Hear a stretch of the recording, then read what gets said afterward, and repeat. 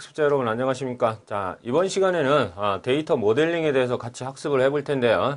자, 지난 시간에 우리가 데이터베이스의 기본적인 개념과 용어들에 대해서 간략히 알아봤어요. 자, 그렇기 때문에 데이터베이스의 용어들이라든지 개념을 위주로 해서 데이터 모델링을 어, 여러분들이 구현을 하셔야 되는데 이 데이터 모델링 부분 같은 경우는 아, 시험에서 실기 시험에서 매 회차마다 출제되는 가장 빈도가 높은 부분 중에 한 부분이에요.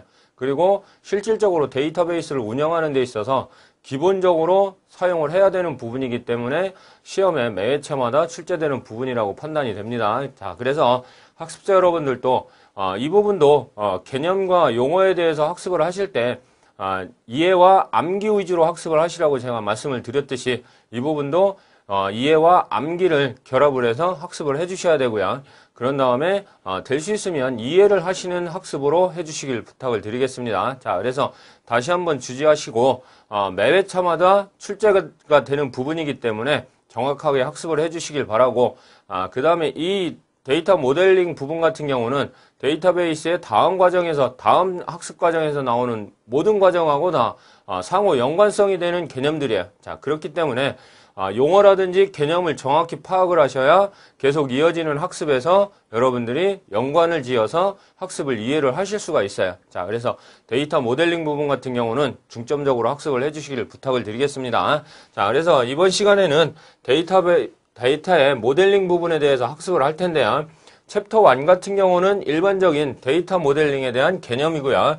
챕터 2부터는 다음 차시 학습에서부터 진행되는 모든 내용하고 어, 연관이 되기 때문에 여러분들이 상호 연관성을 위주로 해서 이해를 하셔야 되기 때문에 어, 정확하게 개념이라든지 용어 어, 그에 따른 구현 방법 같은 것들을 정확히 이해를 해주셔야 다음 학습에 이해를 하실 수가 있어요. 자, 그래서 이해와 암기 위주로 학습을 해주시길 부탁드리고요.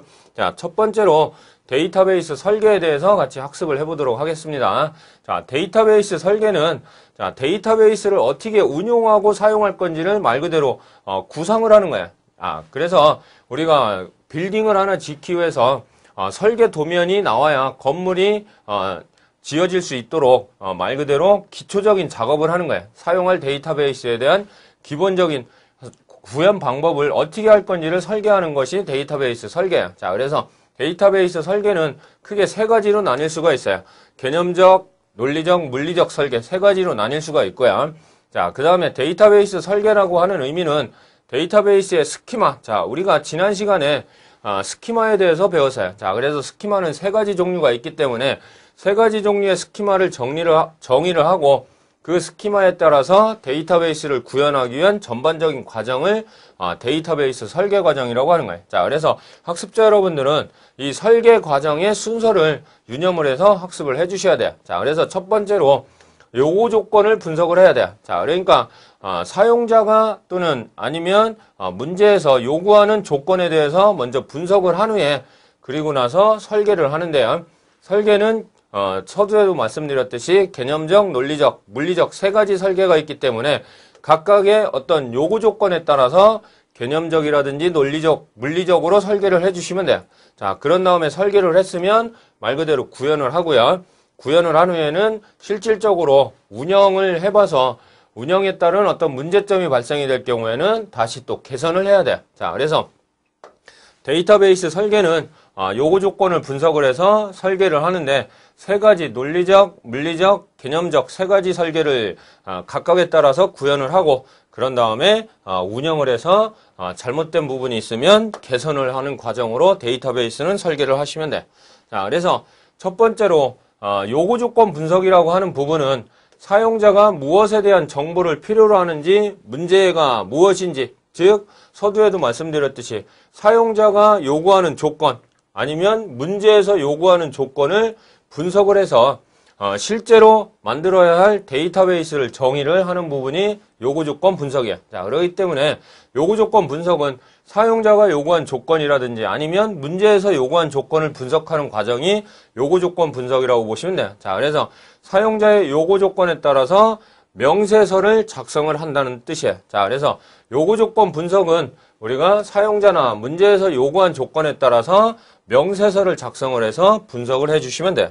자, 그 다음에 아, 설계 단계에서는 어, 요구 조건 분석을 통해서 말 그대로 스키마를 정의를 하는 거예요. 세 가지에 대한 스키마를 정의를 하는데 어, 분석을 통해 얻은 정보를 토대로 해서 실제 데이터베이스를 만들기 위한 이전 단계로서 개념적인 설계, 논리적인 설계, 물리적인 설계를 어, 통해서 이루어지는 것이 설계 단계. 자, 그렇기 때문에 세 가지의 스키마를 정의를 해서 어, 개념적, 논리적, 물리적인 설계를 하는 것이 설계 단계라는 것. 자, 그래서 하나씩 다시 세분을 해서 알아보도록 하겠습니다.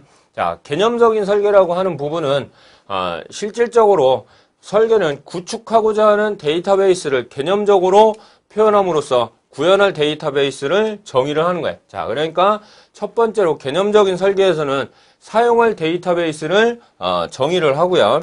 그 다음에 데이터베이스를 구성할 요소들을 결정을 한 후에 수행할 작업과 관계를 설계를 하는 것이 개념적 설계. 자, 그러니까 개념적 설계를 요점으로 정리를 하면 자, DB를 먼저 정하고요. DB를 정하고 그런 다음에 어, element라고 하는 구성 요소들을 어, 결정을 한 후에 실제 수행할 작업과 관계를 결정을 하는 것이 어, 개념적인 설계라는 뜻이에요. 자, 그래서 기본적으로 사용할 DB라든지 아니면 구성 요소라든지 아니면 수행할 작업과의 어떤 연관성들을 정의를 하는 것이 개념적인 설계라는 뜻이에요. 자, 그러면 어, 개념적 설계에서는 구성 요소를 정하고 수행할 작업을 설계하기 위해서 여러분들 많이 들어보셨던 내용일 거예요.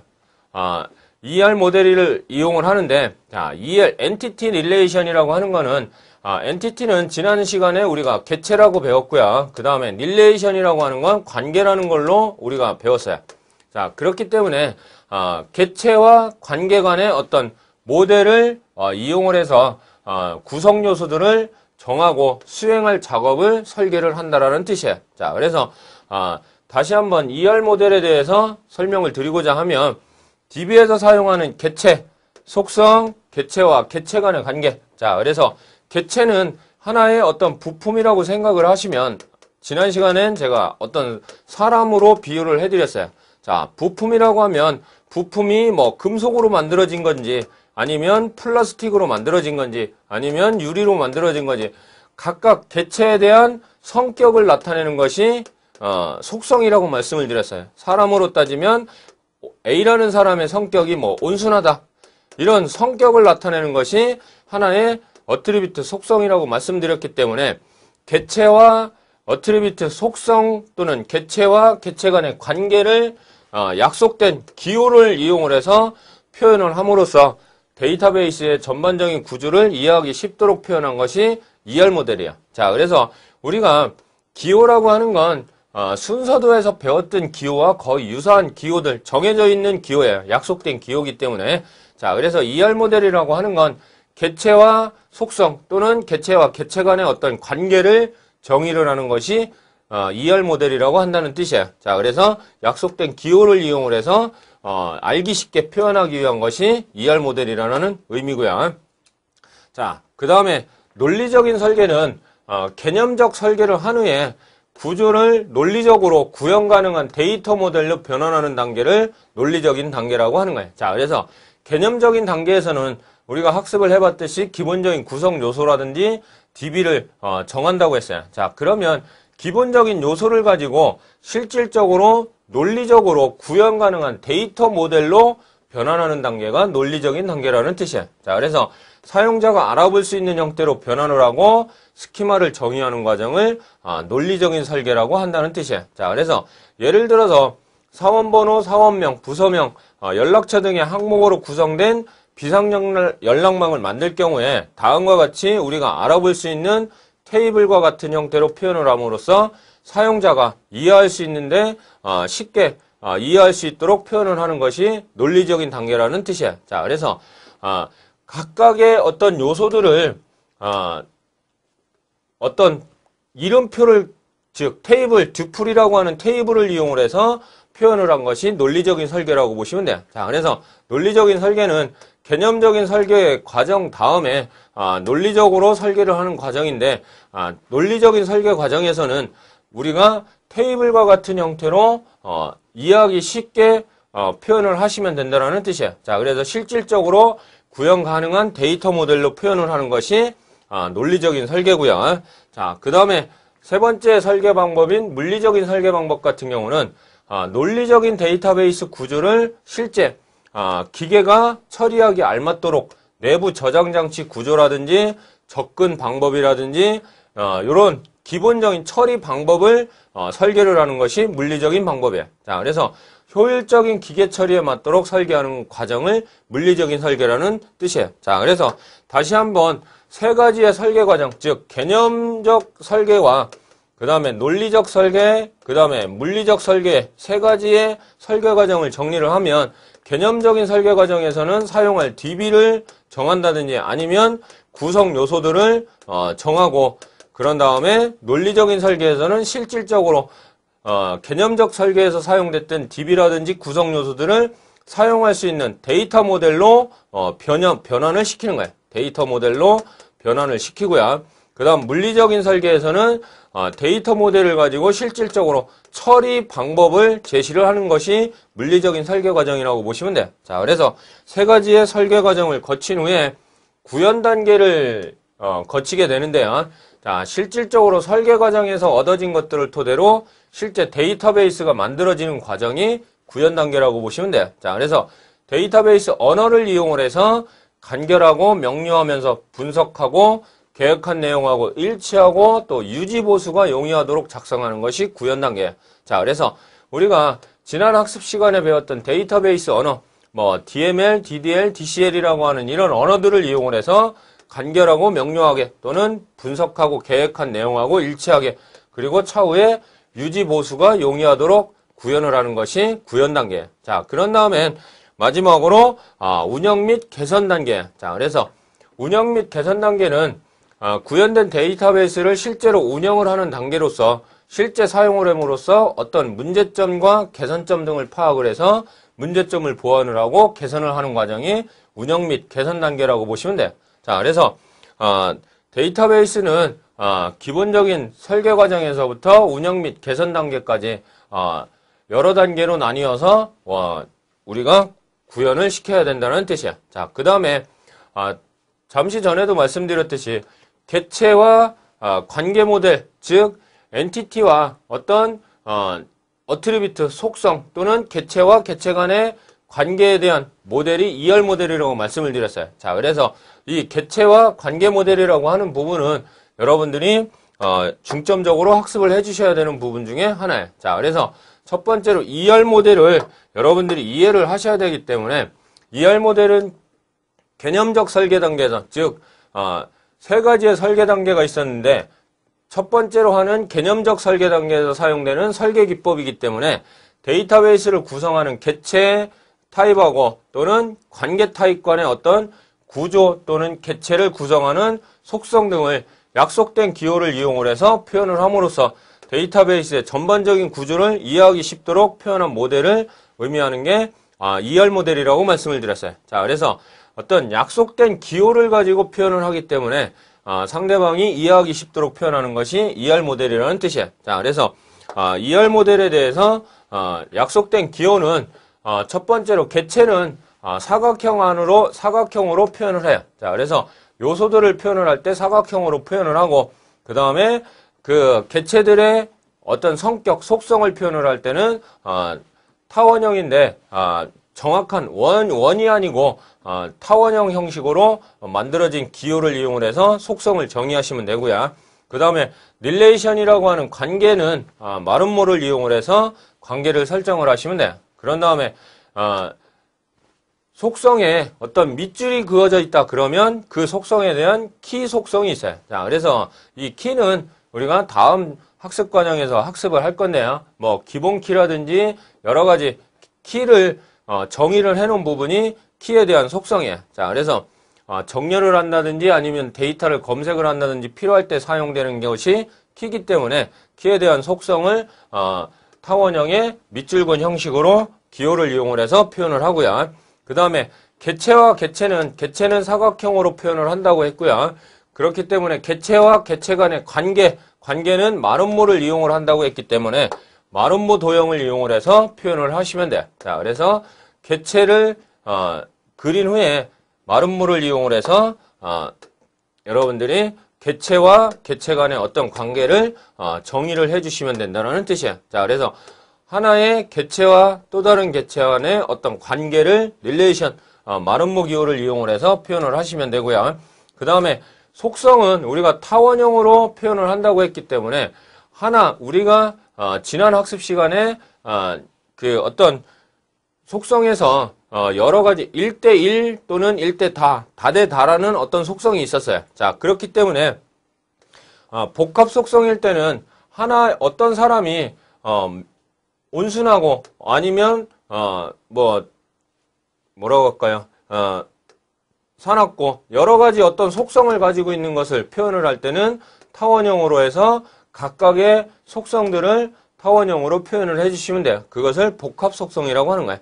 자, 그래서 우리가 어, 약속된 기호는 총 6가지의 기호를 가지고 2열 모델에서는 어, 표현을 해요. 자, 그래서 이 모델을 가지고 표현한 방법을 예를 들어서 보도록 하겠습니다. 자, 그래서 학번이나 성명, 전공 속성으로 구성된 학생 개체를 어, 2열 모델로 표현을 했을 경우에 각각 어, 학번이나 성명, 전공이 어, 떤 속성이라고 했기 때문에 타원형으로 표현을 하고 그 다음에 학번 밑에 밑줄이 그어져 있는 거는 어떤 키가 정의되어 있다라는 뜻이야. 자, 그리고 학생 자체가 뭐가 되냐면 하나의 개체가 되는 거야. 자, 그러니까 그 개체를 어, 구성해주는 요소들이 하나의 어트리비트 속성이라고 보시면 되는 거예요. 자, 그래서 어, 기호를 가지고 표현을 할 수가 있고요.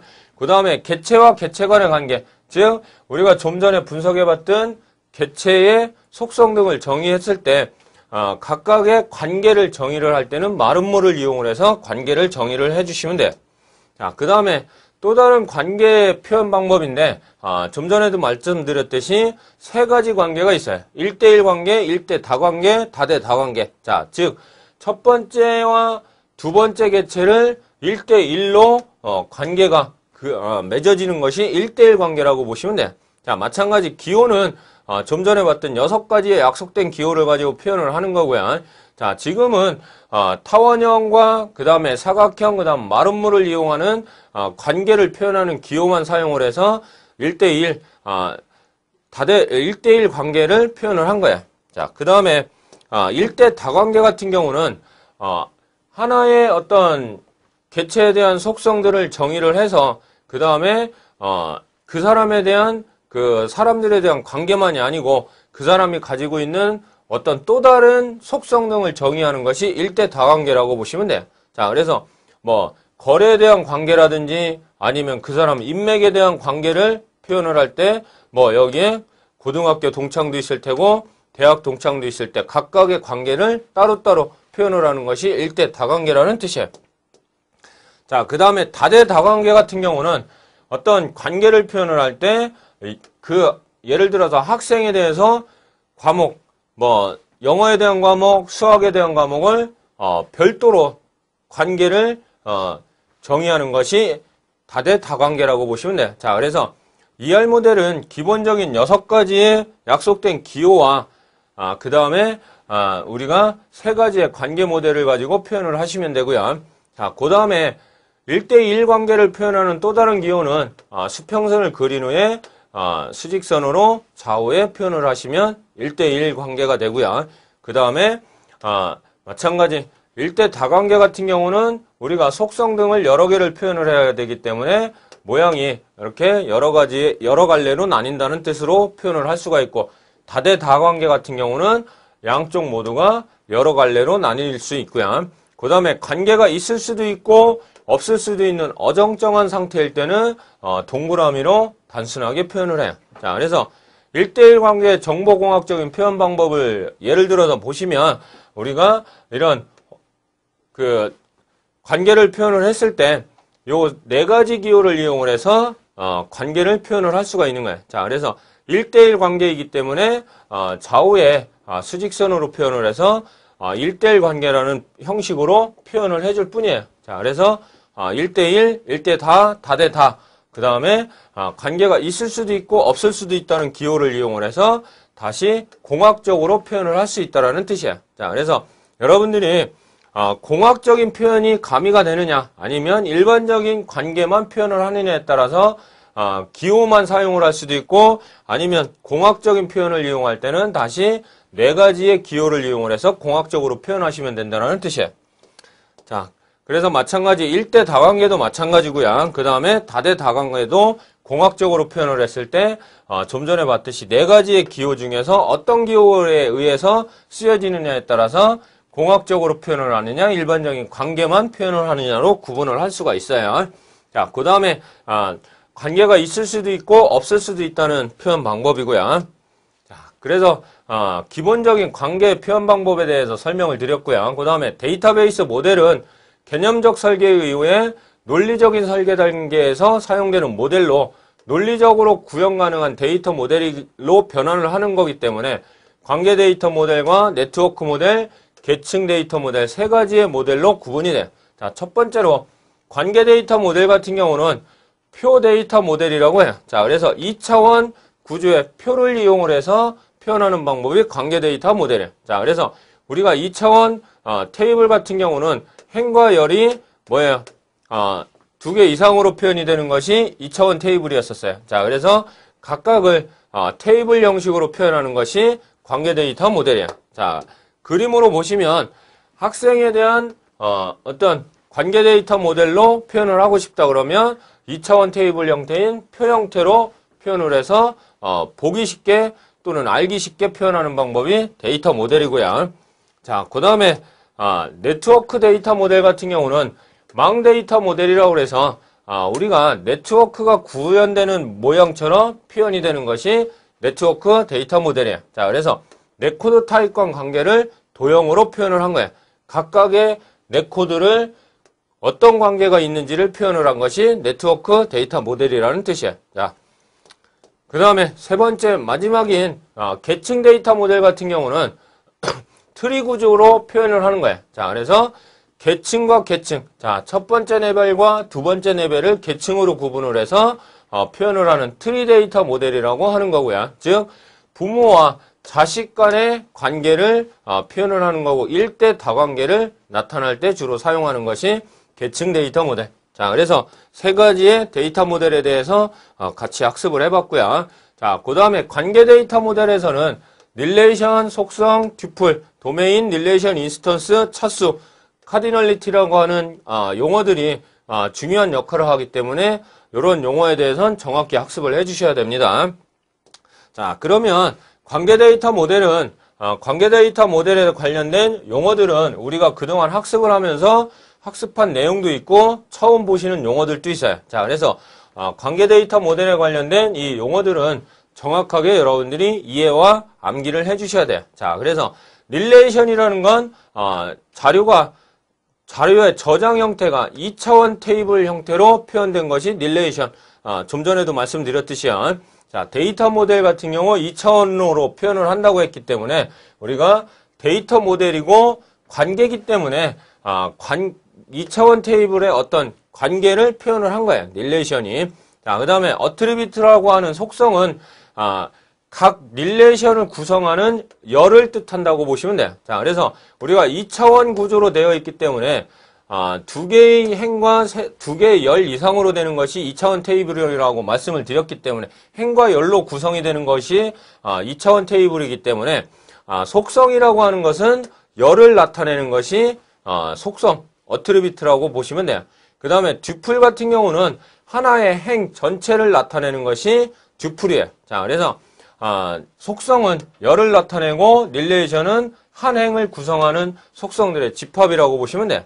자, 그 다음에 도메인이라고 하는 아, 용어는 아, 하나의 속성이 가질 수 있는 값들의 범위를 도메인이라고 하는 거예요. 자, 그렇기 때문에 속성이나 tuple이 가질 수 있는 어떤 값을 의미하는 것이 도메인이고요. 그 다음에 relation 스키마와 relation instance라는 말이 나오는데 스키마 같은 경우는 이름과 속성 이름의 집합을 뜻하는 것이 relation 스키마고요. instance는 입력된 tuple들의 아, 집합을 뜻하는 거예요. 자, 즉 tuple이 하나의 행을 나타낸다고 했기 때문에 입력된 어, 행들의 집합을 나타내는 것이 어, relation instance고요. 그 다음에 degree라고 하는 차수는 relation을 구성하는 속성의 수를 뜻하는 거예요. 자, 그래서 예를 들어서 부모가 있고 자식이 아들도 있고 딸도 있고 또 뭐 쌍둥이도 있을 수 있고요. 자, 그래서 어, 말 그대로 어, 계층 구조로 이루어졌을 때 어, 계층과 계층 간의 어떤 degree, 차수를 뜻하는 것이 어, degree라고 한다는 거야. 그 다음에 cardinality라고 하는 건 어, 행의 수를 뜻하는 것이 cardinality야. 자, 그래서 어, 이 관계 데이터 모델에 관련된 용어에 대해서 어, 학습자 여러분들이 정확히 학습을 해주셔야 다음 이어지는 어, 과정을 이해를 하실 수 있다라는 뜻이에요. 서두에도 말씀드렸듯이 어, 이 데이터 모델 같은 경우는 모델링 같은 경우는 모든 내용이 다 상호 연관성이 있기 때문에 현재 학습하는 과정에 대한 내용들을 이해를 하셔야 다음 내용을 이해를 하실 수 있다라는 뜻이에요. 자, 그래서 관계 데이터 모델로 표현을 했을 때 우리가 어, 어떤 attribute 속성들이라는 건 어, 좀 전에도 말씀드렸듯이 하나의 열이라고 말씀을 드렸어요. 그 다음에 하나의 tuple 같은 경우는 전체의 줄, 행을 나타낸다고 말씀을 드렸고요. 그 다음에 relation 스키마, relation instance 어, 각각 설명을 드렸기 때문에 여러분들이 용어에 대해서 이해를 하실 수 있으리라고 봅니다. 도메인은 각각의 값을 나타내는 것이 도메인이라고 말씀을 드렸고요. 자, 그래서 어, 잠시 전에 학습을 했던 이 일곱 가지의 용어에 대해서 여러분들이 정확하게 암기를 하시고 이해를 하셔야 다음 내용들을 이해를 하실 수 있다는 뜻이에요. 자, 그 다음에 관계 데이터 모델에서 relation을 구성하는 각각의 항목을 학번, 뭐 이름, 주민번호, 학과, 학년이라는 속성이 되고 relation에서 한 명 한 명에 대한 학번, 이름, 뭐 주민등록 이런 각각의 속성들이 하나의 행이 되는 tuple이 된다는 뜻이에요.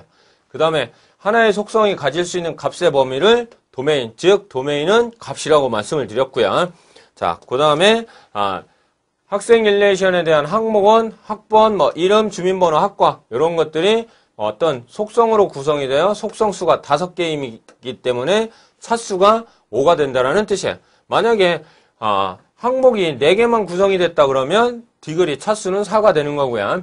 자, 그 다음에 학생 relation에서 현재까지 뭐 이런 각각의 학생 자료가 입력되어 있다면 즉 입력 시점에서부터 뭐 한 시점까지 아, 그 우리가 아, 집합 값들에 대한 집합을 relation instance라고 했어요. 자, 그러니까 입력한 한 행에 대한 집합을 하나의 어, 뭐라고 그랬냐면 어, relation instance라는 용어로 우리가 표현을 했었어요.